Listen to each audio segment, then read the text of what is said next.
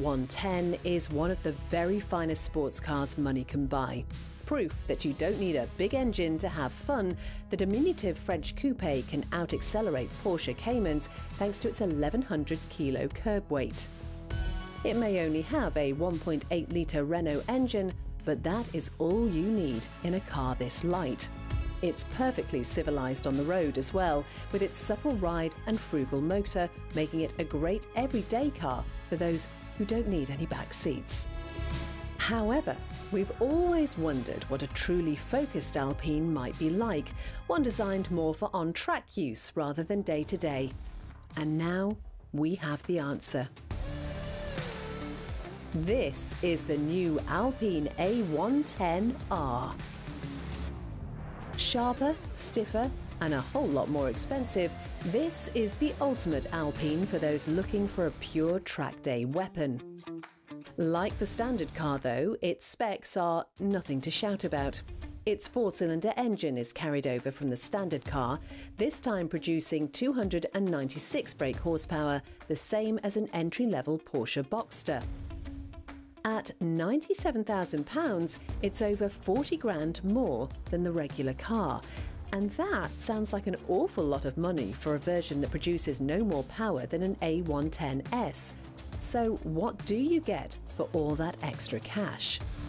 Well, even at first glance, it's clear that this is no regular Alpine.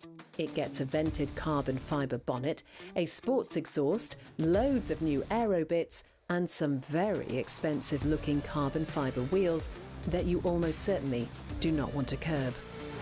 For an extra six and a half grand, you can even have it painted in the same matte blue paint as Alpine's F1 car. The new Aero kit consists of a new carbon front splitter and side skirts, plus a big rear diffuser and swan neck mounted wing for increased downforce to help keep it planted on the corners. And that is exactly where the R is intended to really perform. The chassis has been thoroughly reworked with lower, stiffer suspension with manually adjustable dampers that let you alter your compression and rebound ratios. The anti roll bars are stiffer too, while those gorgeous 18 inch carbon wheels are wrapped in ultra sticky Michelin Pilot Sport Cup 2s. The wheels also channel air onto the new Brembo brakes with increased stopping power.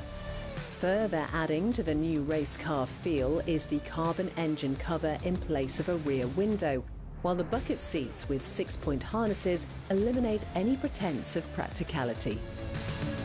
Despite all its aero add-ons, the 110R is 34 kilos lighter than the S model, getting the little racer from 0 to 62 in under 4 seconds onto a top speed of 177 miles per hour.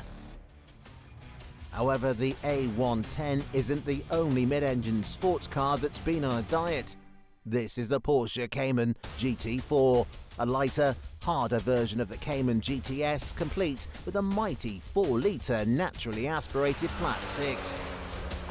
It may have 414 brake horsepower on tap, but it's half a second slower to 62 than the Alpine, although it beats it on top speed at 188. It's cheaper too at £81,000, a significant saving especially with the added cachet of that Porsche badge. As a product of the Stuttgart brand's GT department, it's every bit as track ready as the Alpine, with aggressive aero and the option of a proper manual gearbox. It gets auto blip to help you out around a twisty circuit, but it can be turned off for the proper heel and toe downshifts if you prefer.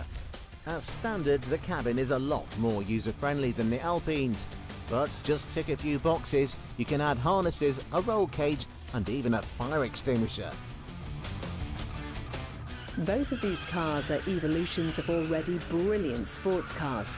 Whether or not you need all the extra race car equipment is up to you, but if you're after a real track car experience, both Porsche and Alpine have got you covered.